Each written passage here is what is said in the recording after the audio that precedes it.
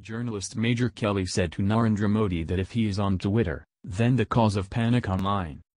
St. Petersburg, American journalist Megyn Kelly has come under widespread online criticism for asking Prime Minister Narendra Modi, the second most followed politician on Twitter with over 30 million followers, if he was on the microblogging site. Kelly, 46, met Modi when she had to interview Russian President Vladimir Putin in St. Petersburg for her new NBC show. The channel aired a teaser video on Friday morning of the show where Kelly greets Putin and Modi at state party dinner at the Constantine Palace in the city. Modi tells the American journalist that he had seen a picture of her with an umbrella in St. Petersburg she had posted on Twitter.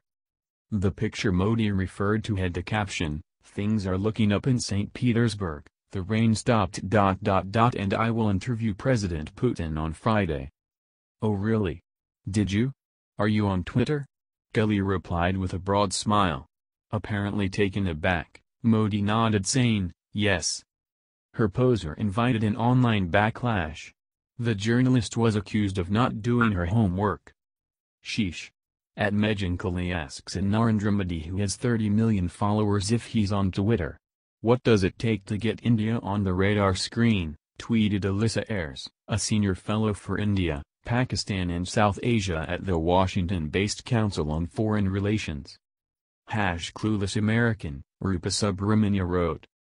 Modi has 30.3 million followers on Twitter, making him the second most followed politician in the world after United States President Donald Trump with 31.2 million followers.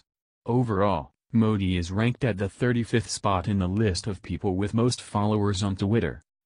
American singer and songwriter Katy Perry holds the number one spot with over 99 million followers. Published date, June 2th 2017 2.50 p.m. Updated date, June 2th 2017 2.50 p.m.